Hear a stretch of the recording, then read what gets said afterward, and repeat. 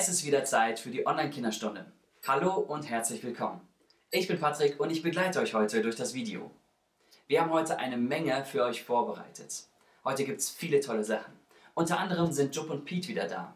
Und wir erzählen die Neuigkeiten von Ostern. Wir möchten direkt losstarten mit einem Lied. Also macht euch bereit, setzt euch gerade hin, schüttelt euch ein wenig oder wenn ihr dürft, stellt euch hin. Es geht los. Auch von unserer Seite wieder herzlich willkommen bei der Kinderstunde.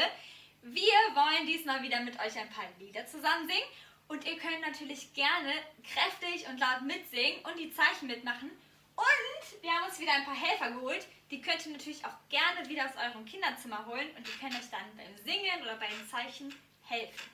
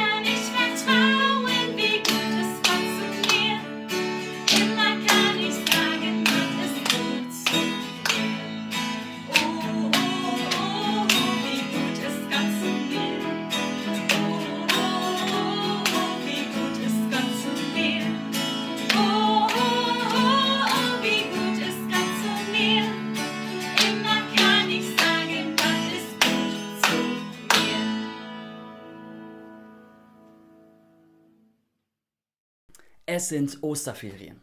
Von den Ferien habt ihr vielleicht nicht so viel mitbekommen, weil ihr gerade sowieso schon seit Wochen nicht in der Schule oder im Kindergarten wart.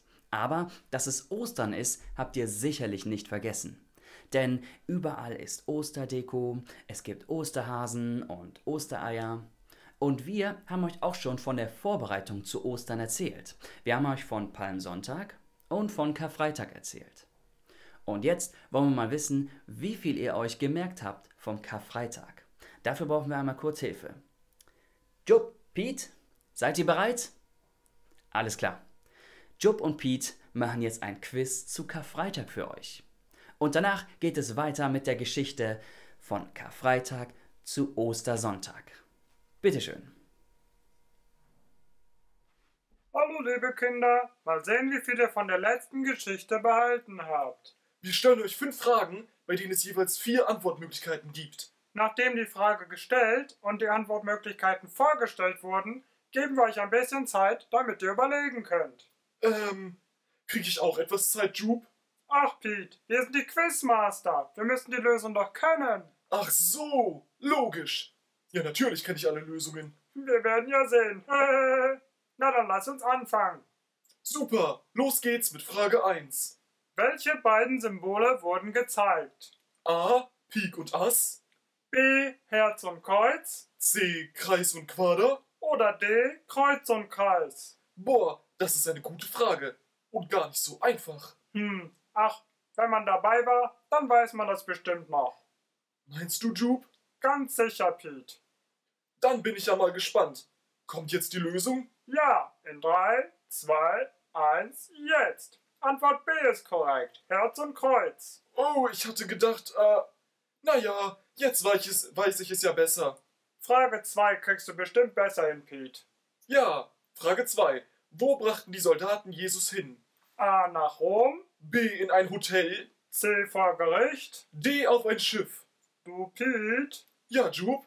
Moment. Irgendwas ist ja komisch, oder? Stimmt, Pete. Das müssen wir doch eigentlich andersherum sagen, oder? Ja, du, Jupe? Ja, Pete. So ist es besser, oder? Ja, viel besser. Aber wir müssen jetzt die Lösung besprechen. Es ist Antwort C. Jesus wurde vor den Hohen Rat ein Gericht gebracht. Oh Mann, das war echt unfair, oder? Hm, naja, hier kommt Frage 3. Wie hieß der Mann, der Jesus verurteilte? War es A. Pilatus, B. Yoga C.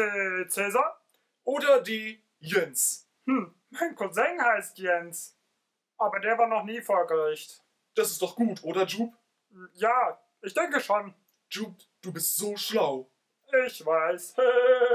Aber die Kinder bestimmt auch. Also, was ist die Lösung? Es ist Antwort A. Es war Pilatus. Das wusste ich sogar. Ich auch. Sehr gut, Pete. Mal sehen, ob du das nächste auch weißt. Frage 4. Wie lautete das Urteil? War es A. Urlaub? Oder B. Gefängnis? C. Der Tod? Oder D. Freispruch? Puh, schwere Frage. Ich hoffe ja, dass es D war. Lass wir die Kinder doch einfach mal nachdenken. Du, Jupe, Ja, Pete? ich glaube, alle halten uns Sockenhandpuppen für Quatschköpfe. Das kann sein. Aber sind wir das nicht auch? Ja, schon. Aber man soll uns deswegen nicht gleich in die gleiche Sockenschublade stecken, finde ich. Da hast du recht. Aber Achtung, da kommt die Lösung. Es ist. Antwort C. Der Tod? Oh Mann, wie schrecklich. Da hast du wohl leider wieder recht, Pete. Aber warum ist das passiert, Jupe? Gute Frage. Lass uns doch die Kinder fragen. Vielleicht wissen die das noch und können uns das sagen. Okay, gute Idee, Jupe. Also Kinder, Frage 5. Warum musste Jesus sterben? War es A, weil er ein schlechter Mensch war? B. Einfach so, ohne Grund. C, ähm, keine Ahnung? Oder D. Aus Liebe zu dir und mir. Oh, ich glaube, das weiß ich sogar doch. Ich auch. Aber nicht verraten, oder Jupe? Nein, nein, nein. Aber ich bin mir sicher, dass die Kinder das selbst ganz gut wissen. Dann kommt jetzt hier die Lösung. In 3, 2, 1. Es war natürlich aus Liebe zu dir und zu mir. Deshalb musste und wollte Jesus sterben. Dieser Jesus ist schon der besonderste Mensch, den es je gab, oder Jupe? Ja, auch wenn es das Wort nicht gibt, hast du trotzdem recht, Pete. Aber war jetzt alles vorbei? Hm, das weiß ich gar nicht so genau. Ich bin genauso gespannt wie du. Erzählt Linda jetzt, wie es weitergeht? Nein, diesmal macht Natalie das. Oh ja, super. Die Geschichte geht weiter. Viel Spaß, Kinder. Und hört gut zu. Was jetzt kommt, ist super wichtig. Hallo Kinder. Wenn man an Ostern denkt, dann denken viele an ähm, Osterhasen, an Ostereier färben und vielleicht auch an Ostereier suchen. Aber wieso ich eher an sowas denke, das erfahrt ihr zum Schluss. Jesus musste sterben, weil Gott uns so sehr liebt. Das haben wir letztes Mal von Linda gehört. Und deswegen bedeutet Kreuz auch Liebe. Und ähm, jetzt, jetzt stell dir mal vor, du hast so dir was richtig eingebrockt. Du hast zum Beispiel im Wohnzimmer mit dem Ball gespielt, obwohl du ganz genau wusstest, das war verboten. Und dann ist irgendwas kaputt gegangen, irgendwas Teures. Oder du hast deinem Geschwisterkind so richtig eine reingehauen, weil du so wütend warst. Und jetzt ist natürlich eine saftige Strafe angemessen. Und ähm, deine Mama möchte dich bestrafen Und dann kommt dein, dein, dein Bruder oder deine Schwester und sagt, Mama, kannst du lieber mich bestrafen? Ich glaube kaum, dass sowas passieren würde. Aber selbst wenn, dann wäre das ja eigentlich total unfair. Das Geschwisterkind hat es ja gar nicht verdient. Das, ich war ja, oder du warst ja dann derjenige, der das ähm, sich eingebrockt hat. Aber wisst ihr, genau das hat eigentlich Jesus für uns gemacht. Die Strafe, die wir verdient haben, die hat er für uns getragen, weil er uns so liebt. Und das Schöne ist aber, ähm, die Geschichte endet nicht am Kreuz, sondern sie geht weiter. Und ähm, ich würde euch gern erzählen, wie es weitergeht. Letztes Mal sind wir stehen geblieben, ähm, also da stehen geblieben, wo Jesus am Kreuz hing und wo er gesagt hatte, es ist vollbracht. Und dann ist er gestorben. Und ähm, das hat aber einer mitbekommen, nämlich der Hauptmann. Der stand neben dem Kreuz und hat gesehen, wie Jesus gestorben ist. Und als er das gesehen hat, waren seine Worte, wahrlich, dieser war der Sohn Gottes. So, es ist nun Abend geworden und Josef von Arimathea, das ist ein ähm, angesehener, ein reicher Mann, der hat Jesus auch sehr geliebt. Der ist zu Pilatus gegangen, der war so mutig und hat ihn gefragt, ob er den Leichnam von Jesus ähm, haben kann, um ihn zu begraben. Und ähm, Pilatus wundert sich und fragt ihn, wie ist Jesus jetzt schon tot? Also es ist ja noch nicht so viel Zeit vergangen, ähm, weil einige echt ähm, sogar bis zu zwei Tagen am Kreuz hingen, bevor die überhaupt gestorben sind. Aber Jesus ähm, war schon tot. Und dann geht er zu dem Haupt oder ruft den Hauptmann und fragt ihn, stimmt das, dass Jesus schon tot ist? Und der Hauptmann, der bestätigt, ja, ich habe es mit eigenen Augen gesehen, wie Jesus gestorben ist. So, also kann Josef ähm, den Leichnam von Jesus haben und er kauft ähm, so Leinwänder, wickelt den Leib von Jesus in diese Leinwänder und legt ihn in ein Grab. Und das Grab, das war nicht so eins, was wir von unseren Friedhöfen kennen, ähm, wo man die, ähm, die Leute wirklich unter, unter die Erde eingräbt, sondern das ist ein Felsgrab. Ähm, das war ein neues Grab, das wurde, ähm, da wurde quasi eine Höhle in, in den Felsen ähm, geschlagen und dann konnte man die, ähm, dort die Leute begraben. Ähm, Jesus wurde also eingewickelt, in das Grab gelegt und, was ganz wichtig ist, ähm, das Grab wurde verschlossen mit einem Stein. Und zwar war das ein riesiger Stein und den musste man mit mehreren Personen so hinwälzen zu dem Grab, um, um, um, das, ähm, um das Grab verschließen zu können. So, jetzt bricht nun der neue Tag an. Es ist Sabbat, das ist ähm, der Ruhetag der Juden. Und die Hohenpriester und Pharisäer, die kommen zu Pilatus. Die haben nämlich eine Sorge. Und die sagen zu Pilatus, weißt du Pilatus, wir haben uns daran erinnert, wie Jesus, als er noch gelebt hat, der hat gesagt, am dritten Tag werde ich auferstehen. Und jetzt stell dir mal vor, die Jünger, die kommen vielleicht nachts in das Grab, die stehlen den Leichnam von Jesus und dann laufen sie überall im Volk rum und erzählen, wie, wie Jesus auferstanden ist. Also, dass er auferstanden sei. Stell dir mal vor, was, was für ein Chaos, was für eine Verwirrung würde das bringen. Der Pilatus denkt nach, das stimmt, ihr habt recht. Und ähm, er gibt den ähm, Wachen. Und zwar stellt er Wachen vor das Grab. Übrigens wird das Grab dann auch noch versiegelt und die Wachen werden davor gestellt. Und so wird wirklich sicher gegangen, dass keiner unbemerkt in das Grab durchdringen kann, dass keiner unbemerkt irgendwie den Leichnam von Jesus stehlen kann. Und so können Lügen verhindert werden. Jetzt sind die Hohepriester, die, ähm, die Pharisäer und Pilatus alle beruhigt. So, was ist eigentlich mit den Jüngern passiert? Die Jünger, die haben sich versteckt in einem Raum und haben alles verriegelt. Die hatten nämlich richtig Angst bekommen. Die waren ja die ganze Zeit über mit Jesus unterwegs. Und ähm, wenn die Juden jetzt Jesus umbringen wollten, dann war es ja naheliegend, dass auch sie in Gefahr waren. Deswegen haben die Angst bekommen und haben sich eingeschlossen. Und ähm, ich kann mir vorstellen, wie traurig die gewesen sind. Ähm, stellt euch vor, ihr seid die ganze Zeit mit jemandem unterwegs, den ihr so sehr lieb habt. Und ihr habt gesehen, ähm, wie die Leute, die Menschenmengen, die haben Hosianna gerufen, die haben ihn als König empfangen und ihre Kleider auf den Boden vor ihm gelegt. Und jetzt ist dieser König tot? Ist alles sinnlos gewesen? So sitzen sie da, eingeschlossen in dem Raum. Am nächsten Tag, das ist dann der erste Tag der Woche, das ist bei uns der Sonntag dann, ähm, machen sich ähm, einige Frauen auf, dem We auf den Weg. Die wollen zum Grab laufen. Ähm, und zwar haben die sich was vorgenommen. Damals war es ganz normal oder nichts Außergewöhnliches, dass man die Toten vor dem Begräbnis mit, ähm, mit so wohlriechenden Ölen einbalsamierte. Und das wollten die Frauen jetzt mit Jesu Leichnam machen. Die haben die Öle gekauft, sind zu dem Grab gelau zum Grab gelaufen und ähm, wollten ähm, ja, jetzt ähm, den einbalsamieren. Und unterwegs m- machen die sich aber echt Sorgen. Die fragen sich, wie, wie sollen wir den, ähm, den Leib einbalsamieren, wenn da doch der Stein voll ist? Der Stein ist riesig, der ist, der ist so schwer, den könnten wir gar nicht alleine wegschieben. Und ähm, es, die sehen dann aber, wie unnötig diese Sorgen gewesen sind. Zu ihrer Überraschung ist das Grab nämlich offen, als die ankommen. Da ist kein Stein mehr vorgeschoben, der ist weggewälzt. Wisst ihr, was passiert ist? Ich erzähle es euch.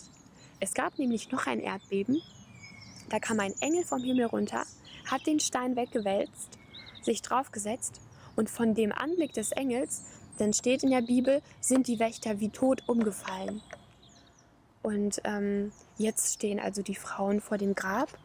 Es ist offen und die gehen rein, gucken rein und auf der rechten Seite sehen die einen Mann, einen jungen Mann in einem weißen langen Gewand. Und dieser Mann, der äh, richtet sich an sie und sagt ihnen etwas.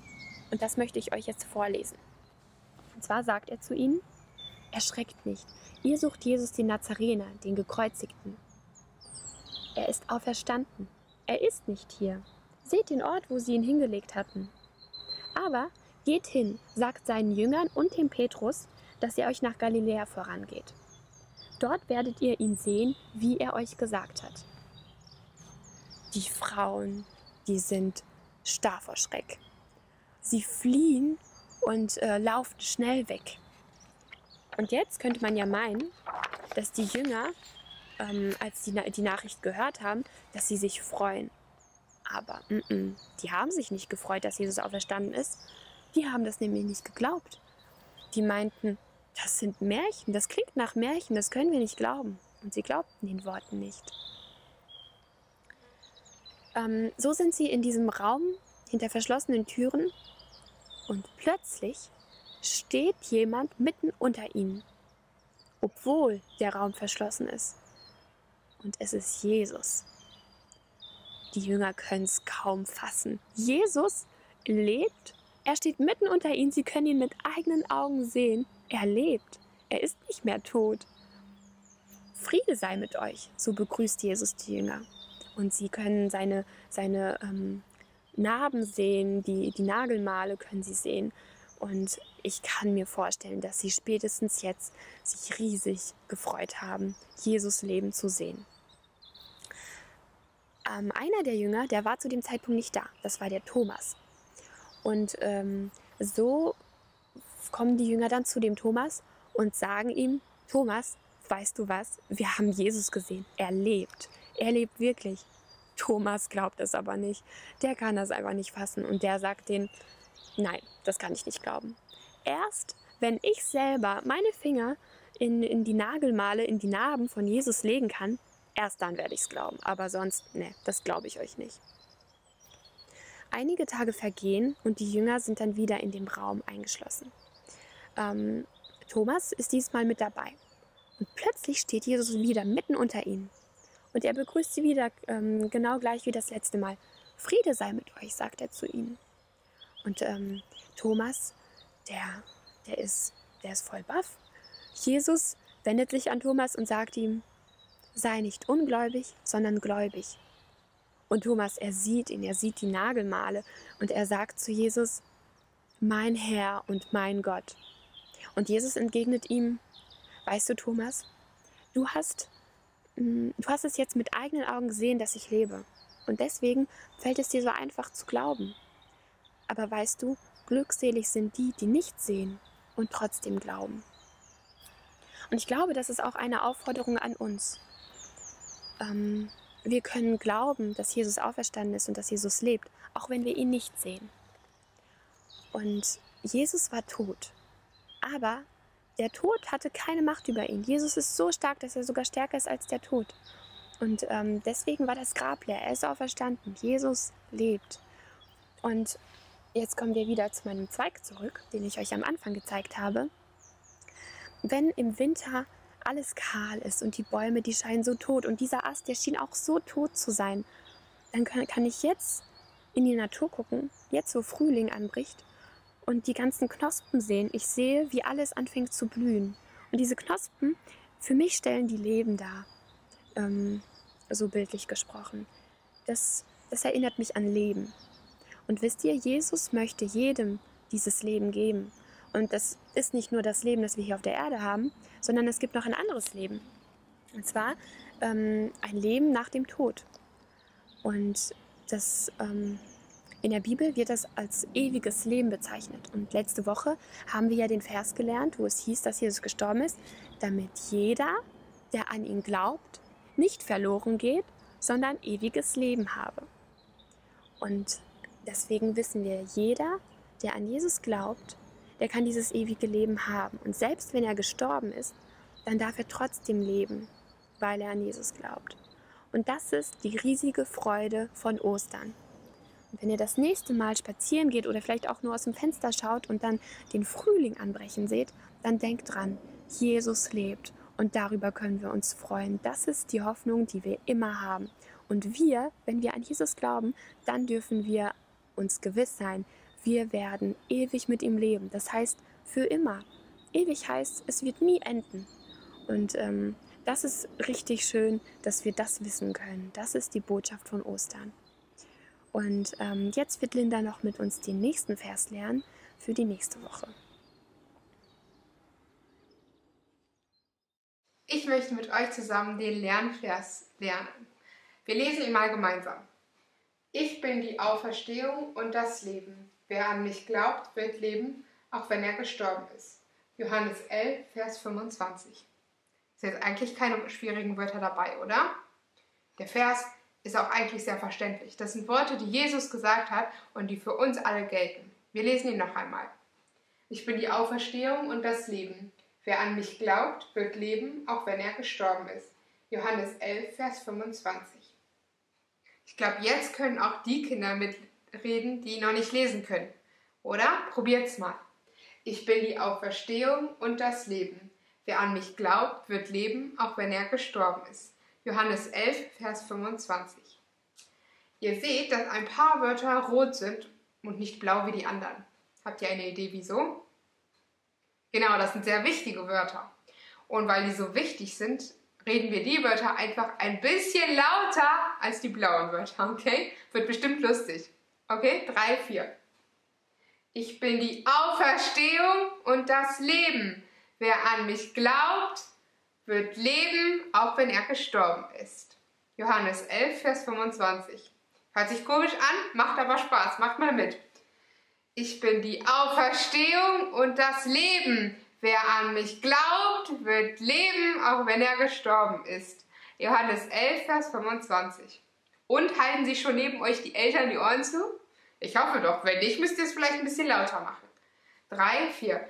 Ich bin die Auferstehung und das Leben. Wer an mich glaubt, wird leben, auch wenn er gestorben ist.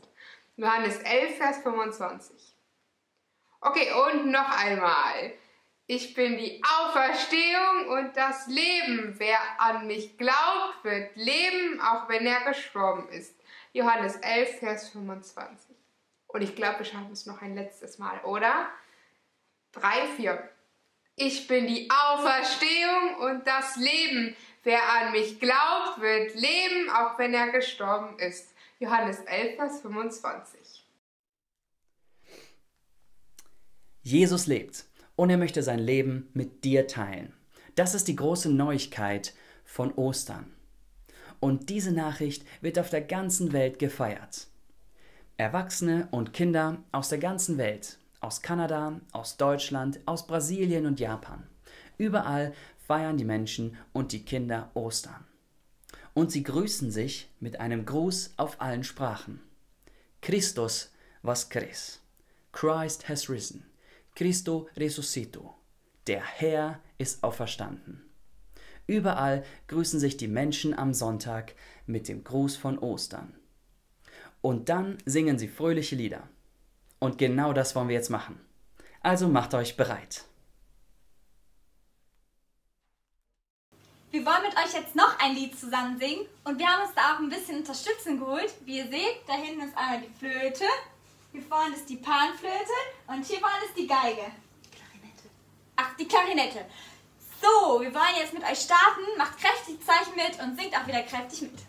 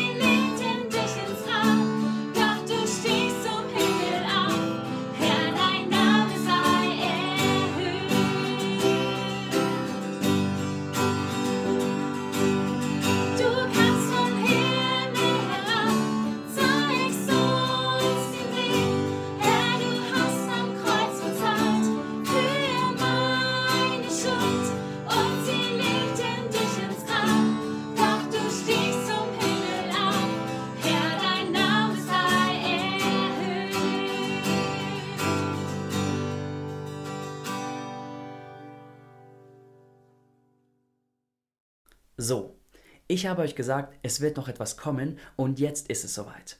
Linda hat etwas für euch vorbereitet. Und das kommt jetzt. Also seid gespannt, macht euch bereit. Los geht's. Hallo ihr Lieben, ich habe einen Basteltipp für euch. Vielleicht habt ihr an den Ostertagen ein bisschen Zeit, weil ihr nicht zu Oma und Opa fahrt. Oder ihr könnt es auch nach Ostern machen. Und zwar basteln wir zusammen einen Ostergarten. Ich habe euch meinen Ostergarten mitgebracht und erkläre euch jetzt, was ihr dafür braucht und wie das Ganze funktioniert. Für den Ostergarten braucht ihr folgende Dinge.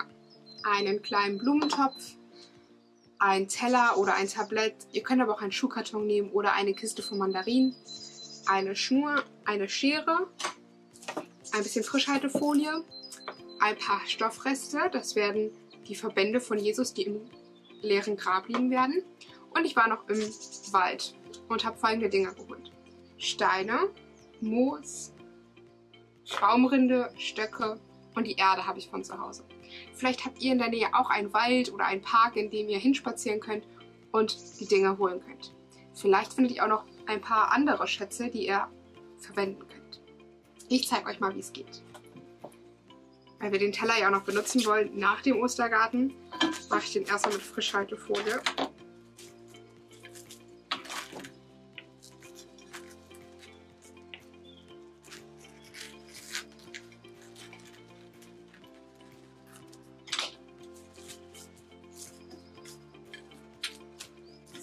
Kommt da ein bisschen Erde drauf.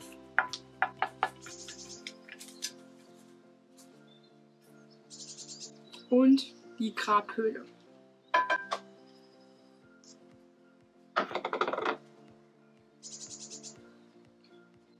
So, als nächstes kommt der Moos. Das muss. Das muss, der muss, Moos. Das verteilt ihr. Ihr braucht ganz schön viel Moos.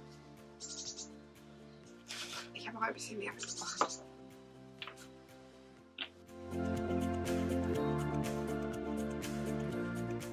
So, bis der komplette Topf zugedeckt ist.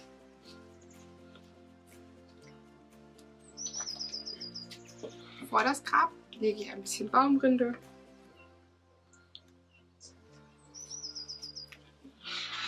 Ungefähr so sieht das jetzt aus. Und ein paar Steine. Soll ja nicht zu viel vom Teller sehen.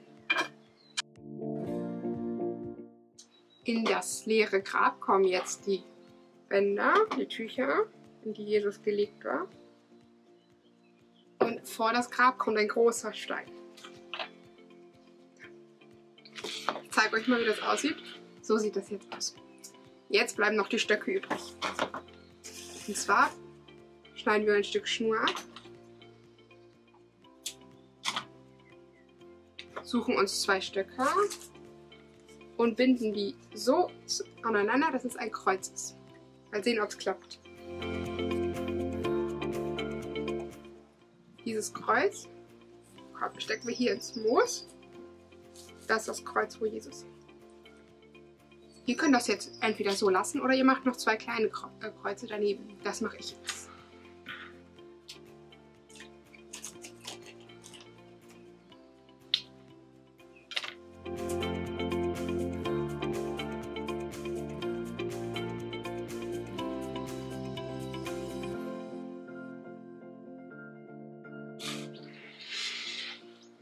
Und schon ist euer Ostergarten fertig. Wenn ihr mögt, könnt ihr hier auch noch ein paar Blumen pflanzen oder Kressesamen. Ganz wie ihr mögt, da ist eurer Kreativität keine Grenzen gesetzt. Ich hoffe, ihr hattet Spaß. Ich weiß nicht genau, wann ihr das bastelt. Wenn ihr das heute noch bastelt, dann könnt ihr das so basteln. Wenn ihr das aber am Ostersonntag oder Ostermontag bastelt oder irgendwann nach Ostern, dann dürft ihr natürlich den Stein zur Seite rollen. Dann sieht man nur noch das Grab, wo die Bänder sind. Wenn ihr mögt, könnt ihr euer Bild von eurem Ostergarten uns gerne zusenden. Hier unten seht ihr eine E-Mail-Adresse. Da könnt ihr euer Bild von eurem Ostergarten hinschicken. Wir würden uns freuen zu sehen, wie eure Ostergärten aussehen. Letztes Mal haben wir gehört, dass Mabuso sich verletzt hat am Knie, weil er die Vase retten wollte. Und äh, heute hören wir darüber, wie Mabuso behandelt wird. Der Doktor ging mit Mabuso aus dem großen Raum in einen anderen Raum in seinem Haus, um ihn dort zu behandeln, in den Behandlungsraum. Dort setzte er Mabuso auf eine Liege. Die Liege, so ein komisches Ding, das aussah wie ein Bett, aber so hoch war wie ein Tisch und man konnte drauf liegen. Aber Mabuso wusste nicht, dass man ein Bett auch Liege nennt, weil man ja auf dem Bett liegt. Also müssten die Autos auch nicht Autos heißen, sondern fahren. Das fand Mabuso witzig, obwohl ihm sein Knie sehr weh tat. Während der Doktor das Knie behandelte, er hat ein Pflaster draufgeklebt, hat das Blut weggewischt erstmal, dann hat er da ein paar Splitter rausgeholt und dann hat er dann Pflaster drauf gemacht. Und während er das alles gemacht hat, erzählte er, wie Jesus von den Toten auferstanden ist.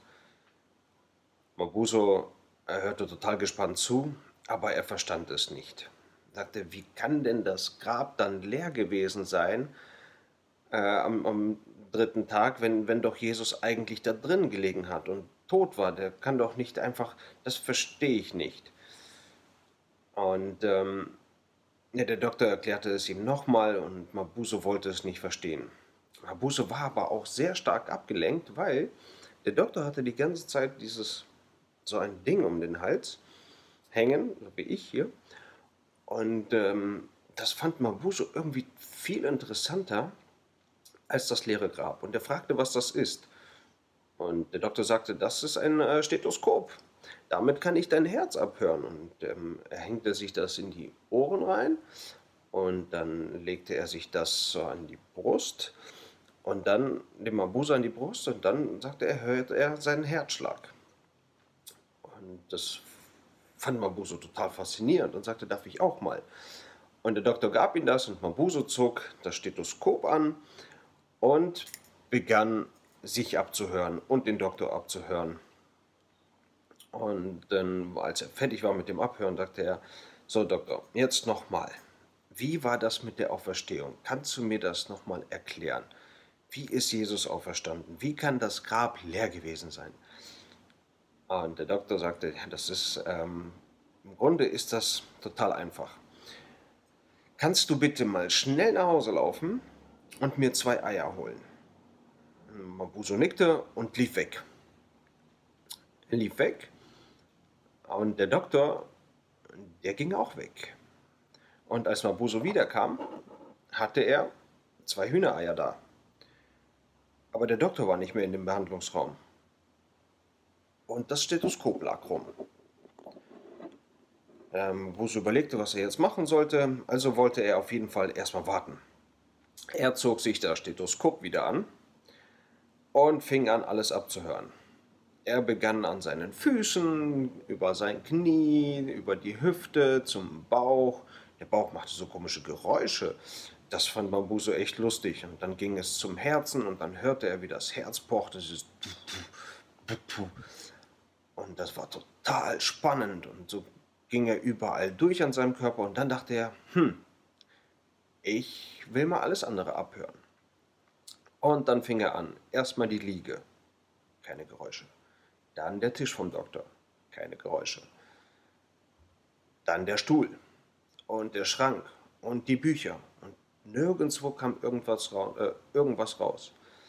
In dem Moment kam der Doktor auf einmal wieder und sagte, ah, Mabuso, du bist schon wieder da? Das ist sehr schön. Hast du die Eier?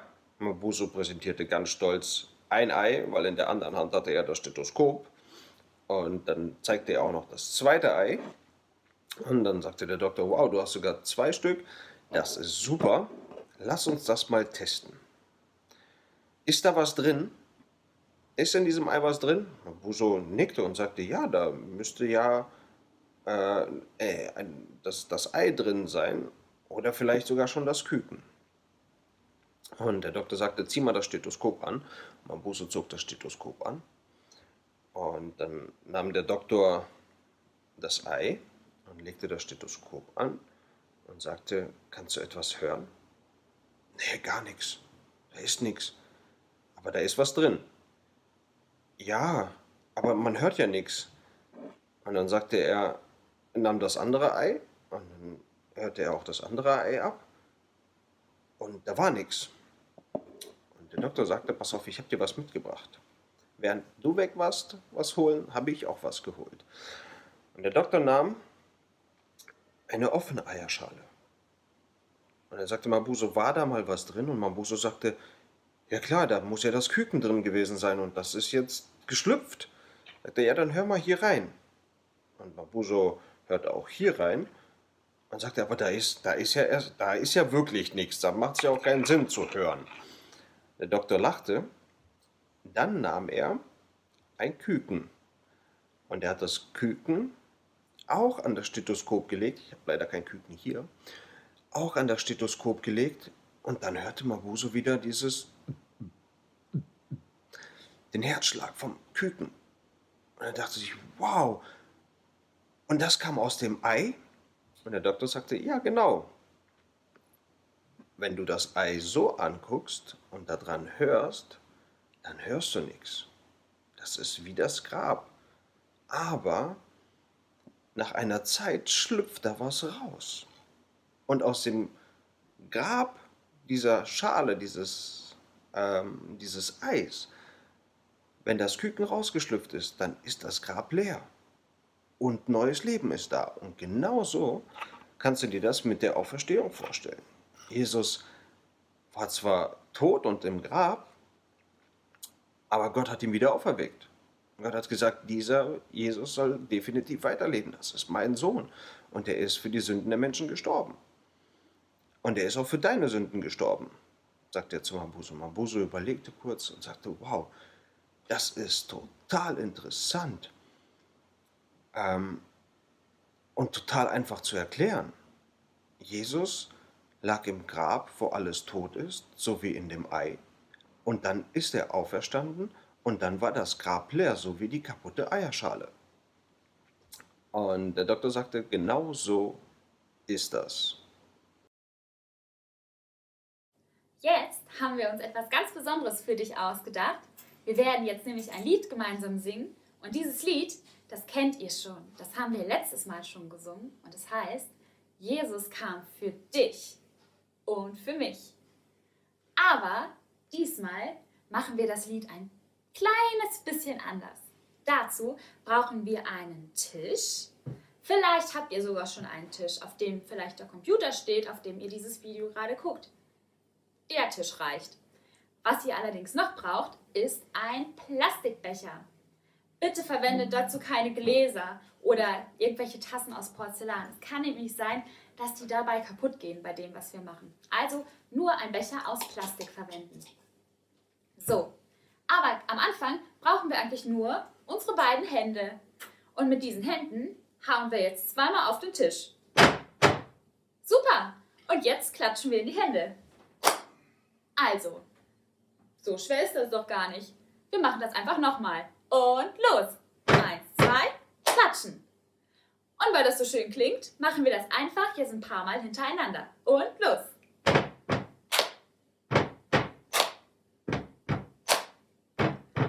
Spürt ihr schon den Rhythmus? Ziemlich cool.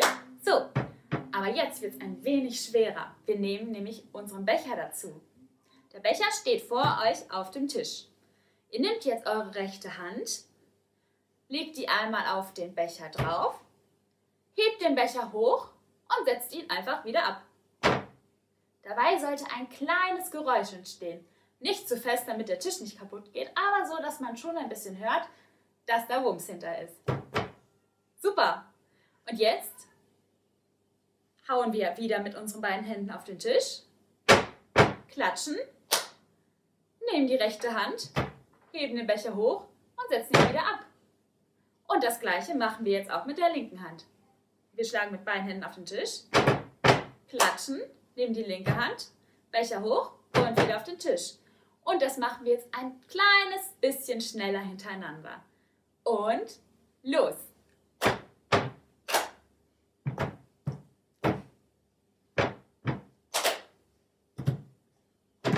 Kriegen wir das noch ein ganz klein bisschen schneller hin? Stimmt. Super. Und los!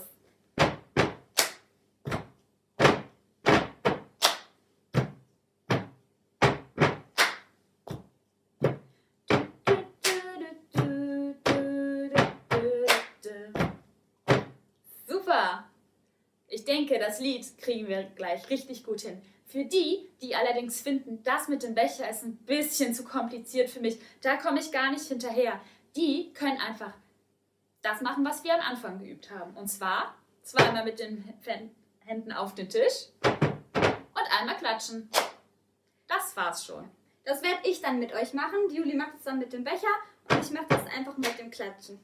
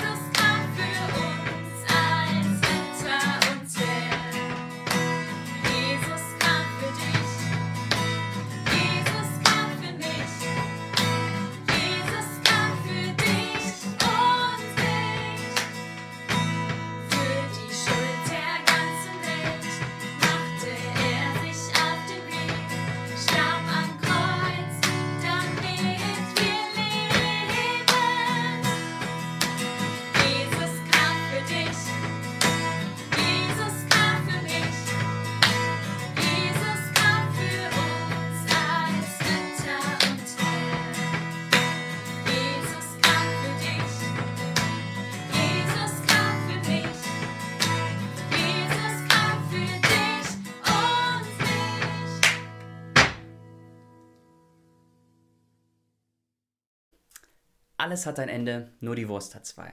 Wir sind zum Schluss vom Video gekommen und wir müssen uns verabschieden. Denkt daran, dass ihr das Basteln zu uns schicken könnt. Malt richtig tolle Bilder und schickt sie uns, wenn ihr das dürft und eure Eltern erlauben. Und denkt an den Vers. Wie viele von euch haben es denn geschafft, den Vers aufzusagen? Ihr habt heute eine neue Chance, wieder einen Vers auswendig zu lernen und dann in euren Verwandten, euren Oma, Opa, Tante, Onkel oder euren Eltern zu erzählen. Und denkt daran an die große Nachricht. Jesus lebt und er möchte sein Leben mit dir zusammenleben. Wir wünschen euch alles Gute. Wir, die Kindermitarbeiter von Ostheim, wünschen euch, dass ihr eine schöne Osterzeit habt, dass ihr eine schöne Zeit mit der Familie habt, dass Gott auf euch aufpasst. Wir beten für euch. Tschüss und macht's gut.